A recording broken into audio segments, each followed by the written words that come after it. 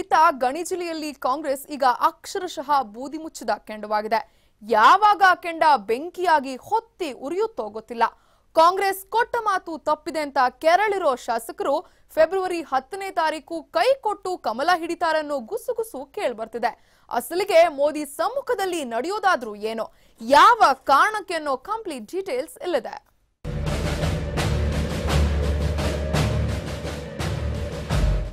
ಲೋಕಸಭೆ ಉಪಸಮರದಲ್ಲಿ B. Nagendra ತನ್ನ ಸಹೋದರನಿಗೆ ticket ಕೊಡಿಸುವಲ್ಲಿ ಅಂತಿಮ ಕ್ಷಣದವರೆಗೂ ಸರ್ಕಸ್ ನಡೆಸಿದ್ರು.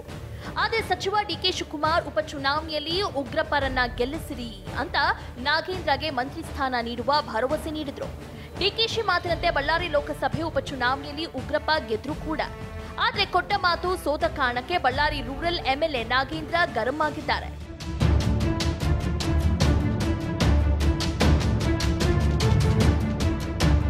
ಗೋಕಾಕ್ ಶಾಸಕರ ಆಪ್ತನಾಗಿರುವ ನಾಗೇಂದ್ರ ರಮೇಶ್ ಜಾರಕಿಹೊಳಿ ನಡೆ ಹಿಂಬಾಲಿಸುತ್ತಾರೆ ಎನ್ನಲಾಗುತ್ತಿದೆ.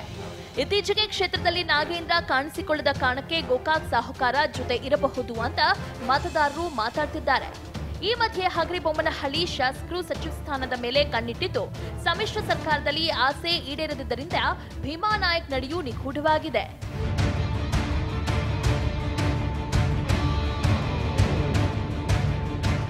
ರಾಮನಗರದ ಈಗಲ್ಟನ್ ರೆಸಾರ್ಟ್ನಲ್ಲಿ ನಡೆದ ಗಲಾಟೆಯಿಂದ ಆಸ್ಪತ್ರೆಗೆ ಸೇರಿದ ಆನಂದ್ ಸಿಂಗ್ ನಡೆಯೂ ಕೂಡ ನಿಗೂಢವಾಗಿದೆ. ಒಟ್ನಲ್ಲಿ ಫೆಬ್ರವರಿ ಎರಡನೇ ವಾರದಲ್ಲಿ ಮೋದಿ ಕುಂದಾನಗರಿಗೆ ಆಗಮಿಸುತ್ತಿದ್ದು, ಬಳ್ಳಾರಿ ಕಾಂಗ್ರೆಸ್ ಅತೃಪ್ತ ಶಾಸಕರು ಕಮಲ ಹಿಡಿಯುವ ಸಾಧ್ಯತೆ ಇದೆ ಅಂತ ಗಣಿ ಧಣಿ ಮಾತಾಡ್ಕೊಳ್ತಿದ್ದಾರೆ.